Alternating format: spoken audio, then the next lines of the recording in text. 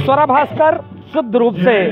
भारत तेरे टुकड़े होंगे इंसा अल्लाह की बात करने वाली स्वरा भास्कर, जिसको दस दिन पहले ट्वीट करती है कि मेरे भाई, बहुत सुंदर, बहुत अच्छे, जल्दी से शादी कर लो किसी लड़की को देखकर। और स्वरा भास्कर उसी से शादी कर लेती है। लेकिन स्वरा भास्कर को भी कठिनाइयों का सामना करना पड़ेगा। मैं आपके चैनल के माध्यम से स्वरा भास्कर को, स्वरा भास्कर को अल्टीमेटम देना चाहता हूँ। इसलिए क्योंकि उस कौम में उन्होंने शादी किया। जो कौम अपने बहन से ही शादी कर लेता है, उसके बाद तलाक तलाक करके कई मर्दों के साथ रात बितानी पड़ती है। अगर स्वरा भास्कर हज़ारों मर्दों के साथ रात बिताना चाहें तो उनको शादी मुबारक हो।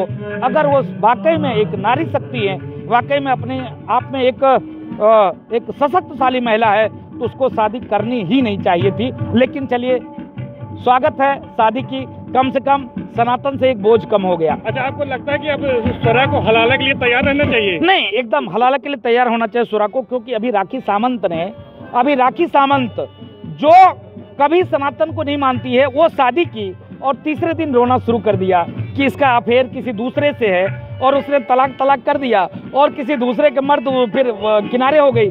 तो जो भी महिला मैं निवेदन करूँगा मैं किसी धर्म का अपमान नहीं करता लेकिन जो सही है जो फैक्ट है हमारे यहाँ भी सती प्रथा था, सती प्रथा खत्म हुआ, गलत था सती प्रथा। उसी प्रकार जो इस्लाम में जो एक कुरीति है, इस्लाम में जो एक कुरीति है, बहुत ही कष्टकारी कुरीति है, उन माँ से पूछिए, वो बहन से पूछिए, वो नारी से पूछिए, वो नारी, वो माँ, वो बहन, जब एक हज़ार लोगों के साथ बिस्तर उसको बिताना पड़ेगा, कितना कष्टकारी है।